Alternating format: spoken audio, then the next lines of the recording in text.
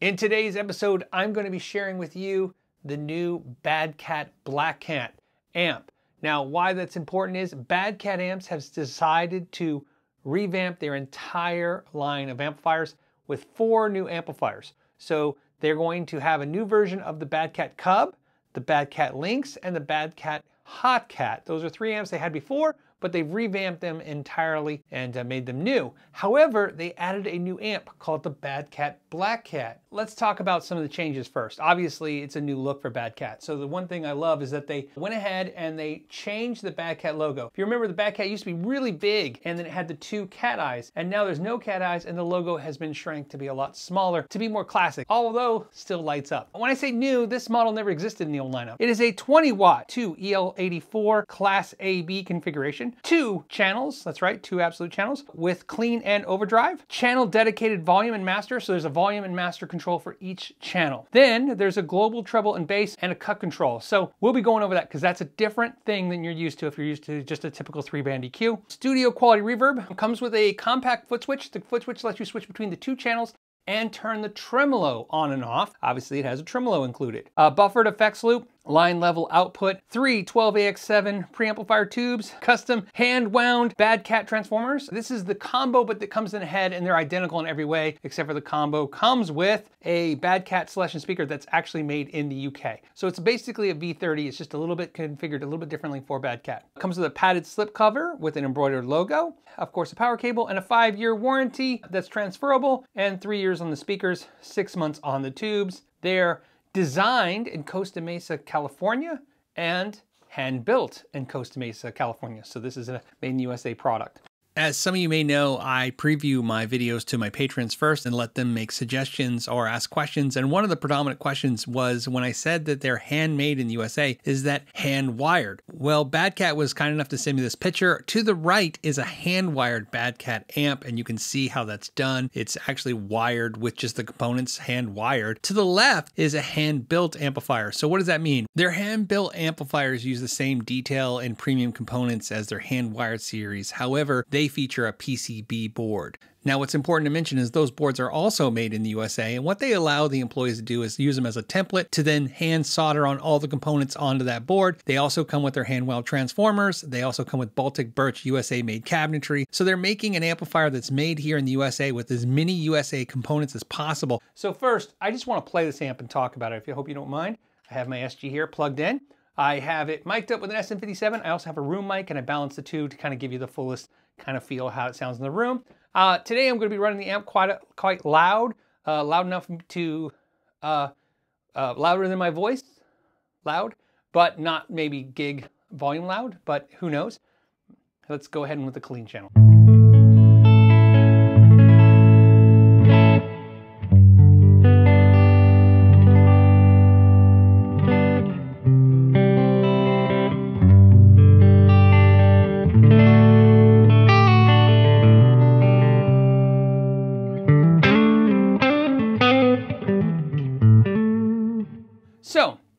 Let's talk about reverb. First thing is that even though this is an 100% tube amplifier and it's all tube, except for one thing, the reverb is digital. Now it's digital reverb for a couple reasons. One, they wanted to have a big lush kind of reverb. Listen to the reverb on max on this for a second.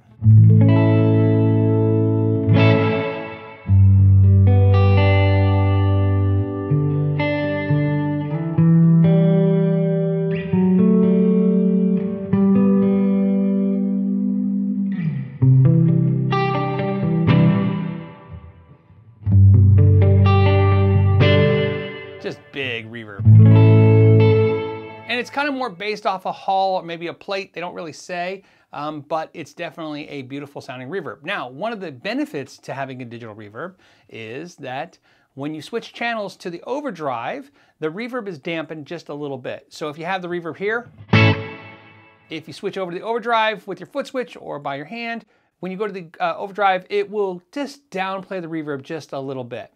The other thing that's important to understand is that this effects loop, which is buffered, uh, is interesting because the reverb is not in is running parallel with the effects loop. So let me explain that. That means if you run a delay pedal in your effects loop, instead of running your delay pedal into your reverb or reverb into your delay pedal, uh, they will run parallel of each other so they don't mud each other up. There's a lot of cool pedals on the market that have the ability to be reverb and delay at the same time in parallel. It's a beautiful, beautiful feature. It really adds clarity to the amp. So that's another reason why it's digital because of the fact that they don't have to put it in the effects loop. Now you do have a tremolo that is analog.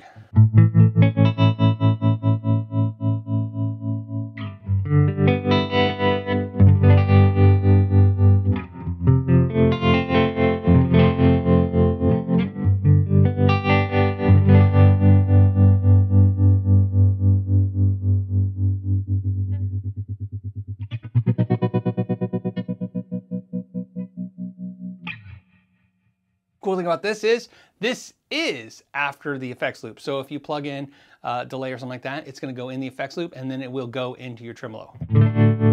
So your tremolo is uh, in the is in the effect loop, effects loop in series, basically, like go effects loop into that.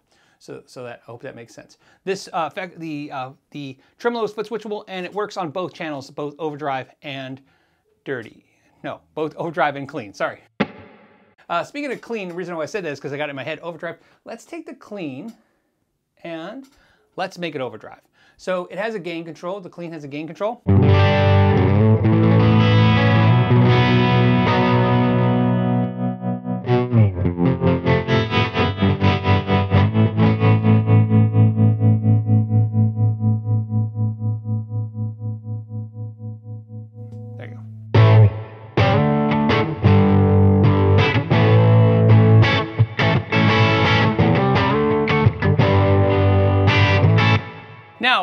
Important is because sometimes you want the clean to be very clean with a lot of headroom, but one of the nice things about having a 20 watt amplifier that has a gain control on the clean channel is that you can get a little bit of breakup. And if you want just a little less breakup, which is what I prefer here,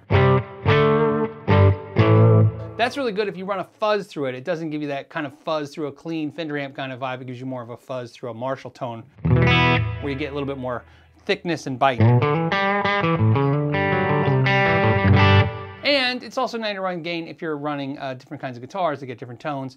I will do a strat through this uh, in a a little bit after we get to the features. The most important part that we need to talk about is the EQ. It is different. First, the bass control. The bass control does what you think it would do. Right? Adds bass, takes bass away. Treble control is different. It's a very different kind of uh, kind of idea. Uh, fully on this way, you're gonna get this thin, bright sound. Almost makes this guitar sound like a Strat.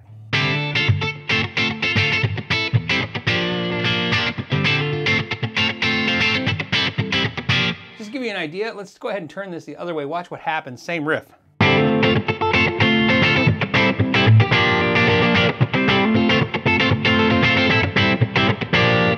Back one more time.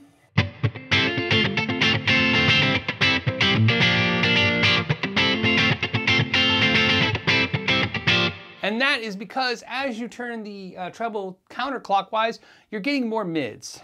And you get a lot of push. It feels like the speaker's moving, all of a sudden the room's moving, sounds kind of flowing.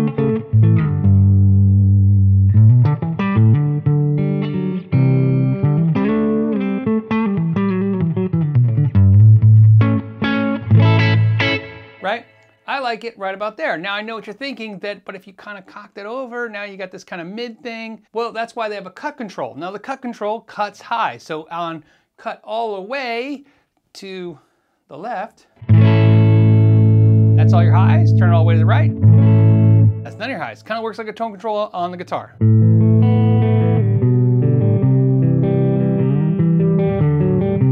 If you don't mind, I'm gonna go back to more of a clean.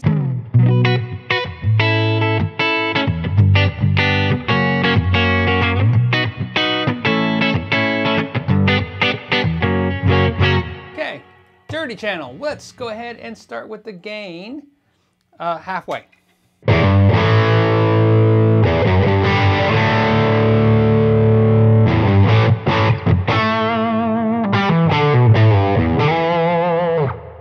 It does something that's really, really cool. It gives you this big mid kind of punch, lots of, I want to say throttle, but lots of power.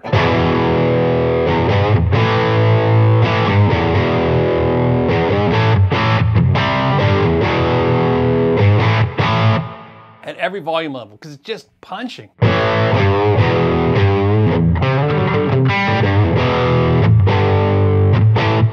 It just has that, and especially with that, that, that reverb.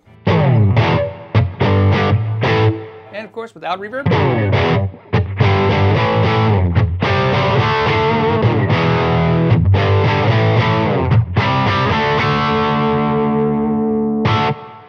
You'll find, you'll probably find a sweet spot with reverb between the clean channel and the dirty channel like I did. What I love, because the way they did the reverb, it doesn't muddy up the, the growl of the amp.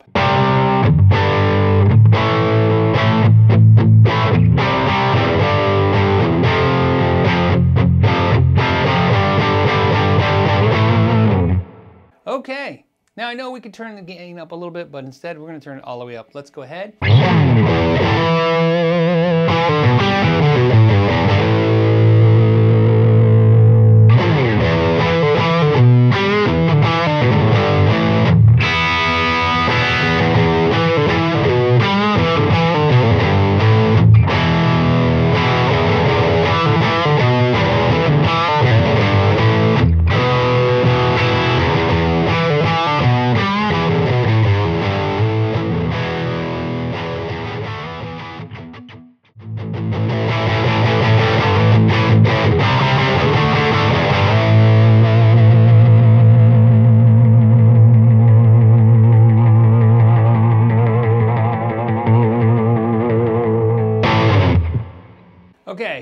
So we run the gain now in between, that was the between halfway and full.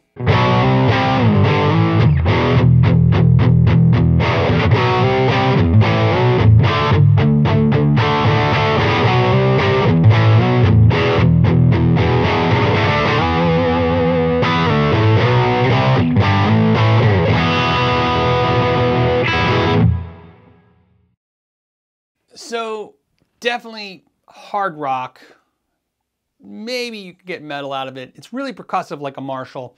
It doesn't have a Marshall tone. It doesn't have a Fender tone.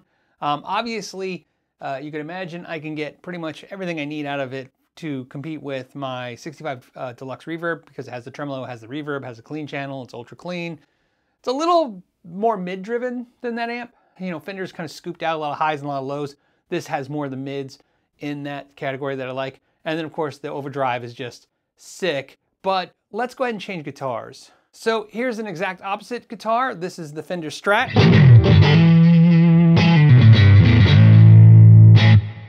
And notice it pushes the reverb a little differently. So now you can be a little bit more aggressive with the reverb again.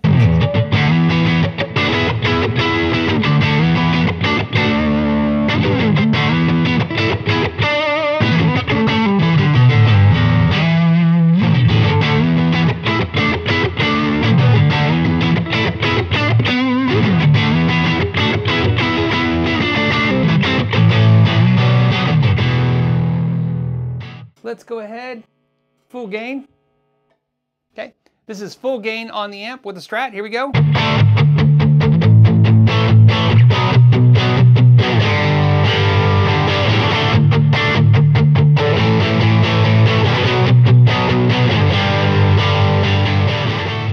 Let's go ahead and play the clean channel.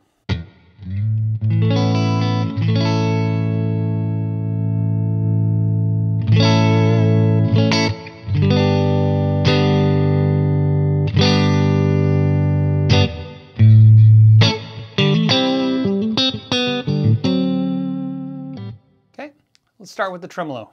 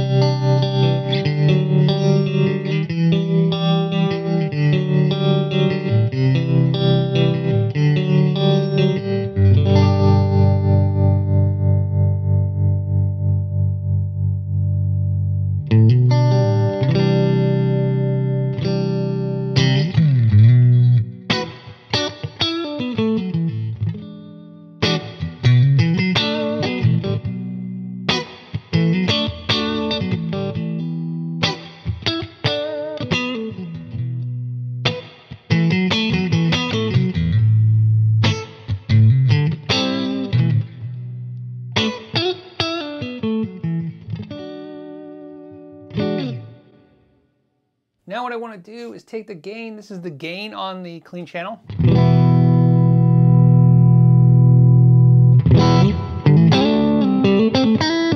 you're going to notice that on the gain, as we increase the gain, we're kind of darkening the amp a little bit so you don't have to worry about it getting brighter and clangier.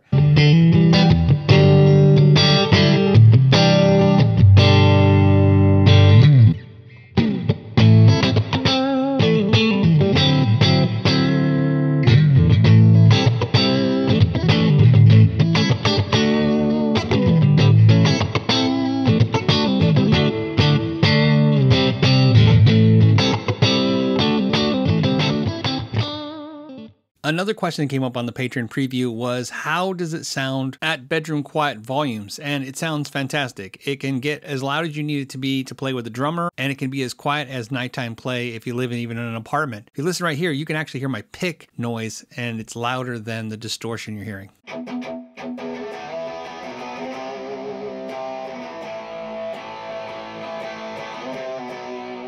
So let's talk about the prices. Uh, my understanding is that the head is about $2,000, so like $1,900 and change, and the combo will be slightly above that. So not necessarily an affordable amp by any means, but we've definitely shown that it's it's made in the USA, it's got a lot of features, obviously it's hand built, there's a lot of things going on there. And then of course they have other models. Like I said, if you think that you'd find more gain, there's a uh, Hotcat that has dual reverbs and more gain. There's a Lynx that has a way more gain uh, and no reverbs. And of course, there's the Cub 40. If you're interested in me doing reviews of those amps, just let me know. I've played them all that one day, except for the Lynx. I actually have never played the Lynx. That's the only one. But I played the other two and I really liked them and it was really tough for me. For me, one of the things that kind of led me to this amp was there was things about the Cub, there was things about the, the uh, Hotcat that I really liked, but this amp was kind of like a little in between those. so I kind of like that. I kind of liked it was like, okay, I had some more gain like the Hotcat, but it had some of the punchy cleans that I liked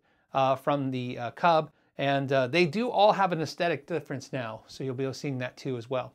So that's the new Bad Cat. So obviously, this is here to stay, and we're going to be using it in a ton of videos from now on because this is a great one-stop shop amp for me uh, when I'm doing content. You know, I can just plug in a guitar, get a clean sound, um, get a good clean sound, get a good overdrive sound. So if you're thinking about getting the head, you can either pair it with their cabinet or if you already have an existing cabinet and you're worried about this not sounding good with yours, I can tell you with, with great confidence that if you have a Creamback or a V30, this head will love those speakers as much as this speaker and maybe even more. So there you go with that. And then uh, other than that, I have to say I'm blown away with what they did. Uh, it's really impressive. I definitely think they're they're in it to win it, and uh, I can't wait to see what they do next. As always, guys, I want to thank you so much for spending some time with me today. To the next time, know your gear.